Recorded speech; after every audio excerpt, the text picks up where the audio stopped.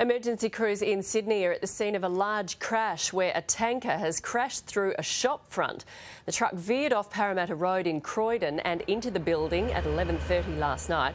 Crews have been trying to figure out how to remove the truck all night with fears the entire shop could crumble.